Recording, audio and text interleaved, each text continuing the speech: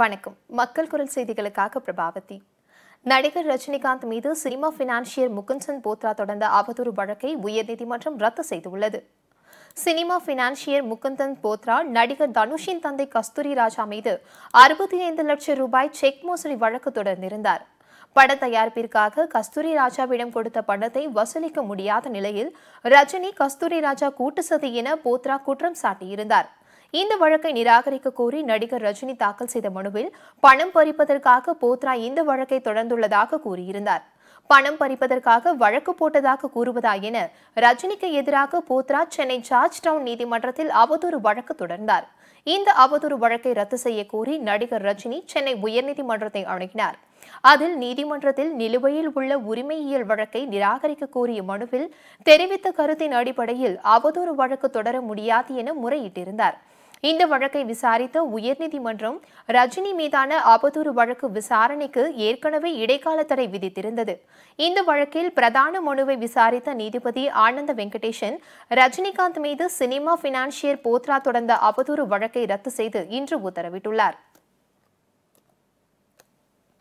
கடல் சீற்றம் காரணமாக ஐந்து நாட்களுக்கு கடலுக்கு செல்லாத நாகை மாவட்ட மீனவர்கள் இன்று மீண்டும் கடலுக்கு சென்றனர்.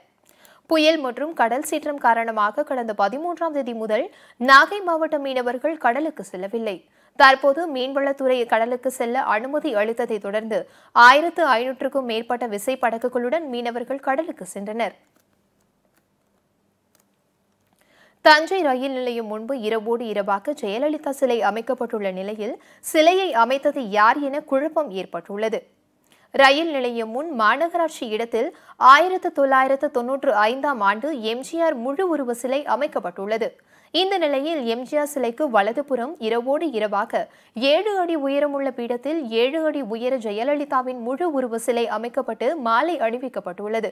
இரவோடு இரவாக சிலையை அமைத்தது யார் என அதிமுகவினர் மற்றும் மக்களிடையே குழப்பம் ஏற்பட்டுள்ளது. சிலை அமைக்க மாநகராட்சி ஆணையர்தான் அனுமதி அளிக்க வேண்டும் என்ற நிலையில் சிலை குறித்து தனக்கு எதுவும் தெரியாது என மாநகராட்சி ஆணையர் தெரிவித்துள்ளார். தமிழகத்தில் தாமரையை மலர வைப்போம் என்ற தமிழிசையின் முழக்கத்திற்கு ஜெயக்குமார் கருத்து தெரிவித்துள்ளார். தாமரையை தமிழகத்தில் மலர வைப்போம் என்ற தமிழிசையின் பேச்சு வேகம் பேரார்வத்தை காட்டுகிறது என்றும் தமிழகத்தை பொறுத்தவரை இரட்டை இலைதான் ஜெயிக்கும் எனவும் ஜெயக்குமார் கருத்து தெரிவித்துள்ளார்.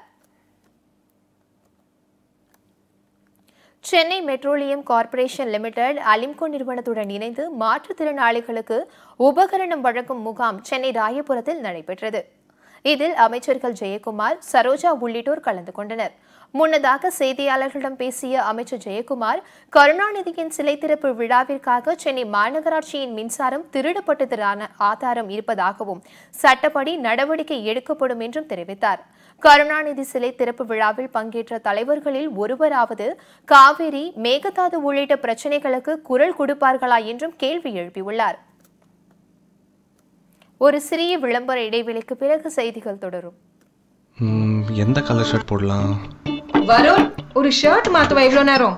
அங்க பொண்ணே ரெடியா இருக்கும் சிஸ்டர் ஃபர்ஸ்ட் இம்ப்ரெஷன் பெஸ்ட் இம்ப்ரெஷனாக இருக்கணும். அப்போ ராம்ராஜ் ஒயிட் ஷர்ட் சூஸ் பண்ணு. எல்லாருக்கும் பிடிக்கும் ஈஸியா இம்ப்ரெஸ் பண்ணும் காண்போர் கண்கள் உந்தன் மீது காதல் பார்வை எந்தன் மீது? உன் ஃபர்ஸ்ட் இம்ப்ரெஷன் பிடிச்சிருக்கா? பிடிச்சிருக்கு எனக்கு பிடிச்ச ஒயிட் ஷர்ட்ல ரொம்ப பிடிச்சிருக்கு. Ramraj White Shirts get the best impression. செய்திகள் தொடர்கிறது. உக்ரைன் நாட்டில் பதினான்காவது மாடியிலிருந்து குதித்த பதினைந்து வயது சிறுவனின் பாராஷூட் சரியான நேரத்தில் விரிவடையாததால் தரையில் விழுந்து உயிரிழந்தான். கிழக்கு உக்ரைனில் உள்ள மங்கிவ்கா என்ற இடத்தில் பதினைந்து வயது சிறுவன் ஒருவன் தானே சுயமாக பாராஷூட் ஒன்றினை தயாரித்தான். பின்னர் அதனை பரிசோதிக்க விரும்பிய அவன் தனது தாயிடம் கூறிவிட்டு வீட்டருகே இருந்த பதினான்கு தளங்கள் கொண்ட அடுக்குமாடி குடியிருப்பின் உச்சத்திற்கு சென்றான். அங்கிருந்து குதித்தபோது பாராஷூட் இயக்கினான். ஆனால் முறையாக தயாரிக்கப்படாத அந்த பாராஷூட் சரியாக இயங்காததால் சிறுவன் கீழே விழுந்து தாயின் கண்முன்னே உயிரிழந்தான்.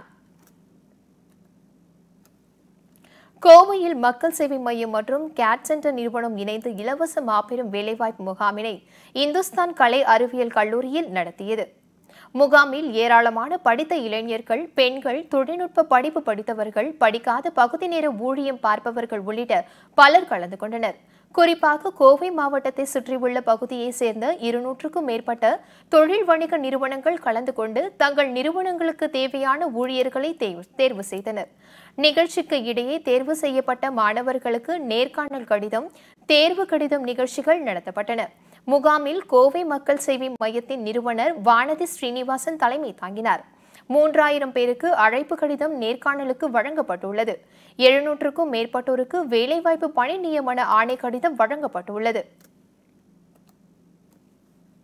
இயற்கை கற்கள் மற்றும் அது தொடர்பான பொருட்கள் ஏற்றுமதி குறித்த பிரச்சினைகள் சவால்கள் குறிக்க விவாதிக்க கூட்டம் நடைபெற்றது.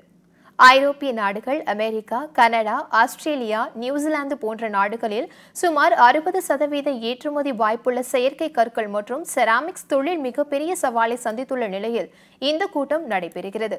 மேலும் சீனா பிரேசில் தென்னாப்பிரிக்கா ஜிம்பாபே சவுதி அரேபியா மற்றும் பல்வேறு நாடுகள் குறைந்த விலையில் இயற்கை கற்களை கொண்டு வந்து கொட்டி குவிக்கும் மிகப்பெரிய சவாலை நாம் சந்தித்துள்ளதாகவும் ஏற்றுமதியை அதிகரிக்கவும் இக்கூட்டம் நடைபெற்றதாக கேபெக்ஸில் தலைவர் ஜெம் கிரானைட் வீரமணி கூறினார். பெட்ரோல் டீசல் விலையில் ஏற்றம் இறக்கம் காணப்பட்டு வருகிறது. அந்த வகையில் கடந்த அக்டோபர் மாதம் பெட்ரோல் டீசல் விலை வரலாறு காணாத வகையில் ஏற்றம் கண்டது. அக்டோபர் மாதம் பதினேழாம் தேதி ஒரு லிட்டர் பெட்ரோல் விலை எண்பது ஆறு ரூபாய் பத்து காசும் டீசல் விலை எண்பது ரூபாய் நான்கு காசும் என உச்சத்தை தொட்டது. இந்த நிலையில் கடந்த இரு தினங்களாக பெட்ரோல் விலை ஏறுமுகத்துடன் காணப்படுகிறது. சென்னையில் இன்று ஒரு லிட்டர் பெட்ரோல் நேற்றைய விலையிலிருந்து பத்து காசுகள் உயர்ந்து எழுபத்து மூன்று ரூபாய் இருபத்து ஒன்பது காசுகளுக்கும் டீசல் விலை நேற்றைய விலையிலிருந்து ஏழு காசுகள் உயர்ந்து அறுபத்தி எட்டு ரூபாய் பதினான்கு காசுகளுக்கும் விற்பனையாகிறது. இத்துடன் இந்த செய்தியறிக்கை நிறைவடைந்தது. நன்றி வணக்கம்.